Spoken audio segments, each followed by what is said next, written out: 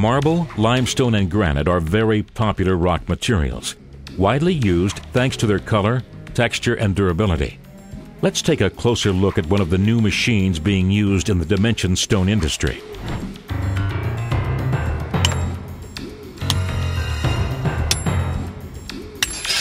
First of all, it has an incredible performance.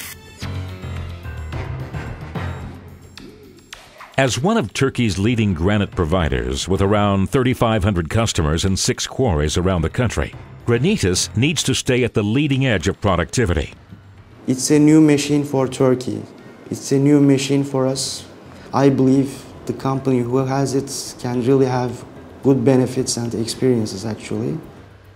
The Rock Buggy is a small, hydraulic, extremely mobile, and versatile drilling unit, tailor made for the dimension stone industry, where you need straight and perfectly aligned holes.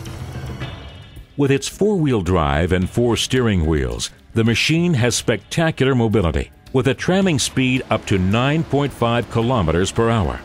The operator can maneuver the rock buggy either on board the rig or via radio remote control. With the rock buggy, it's possible to drill in any direction thanks to the folding boom and a design that provides a total coverage area of 65 square meters without moving the machine. The combination of the unit's stability and an anti-jamming system and guide rails ensures perfectly aligned and straight holes with an impressing capacity. The drilling meters is really unbelievable. The rock buggy drills the whole line of holes automatically according to parameters set by the operator. All the operator need do is supervise.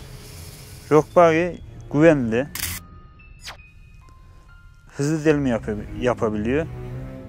The machine is service friendly, with all service points easily accessible from both sides and the rear. Thanks to an integrated dust collector system, minimal vibration, and a decreased noise level, working conditions for the latest generation have been greatly improved. Once the rock buggy has drilled all preset holes in a perfectly aligned row, here with a distance of 15 centimeters, the operator just has to back the machine up and add the finishing touch. Biz, biz burada zor şartlarda üretim yapıyoruz. İnşallah bunlar güzel yerlerde güzel şekilde kullanılır.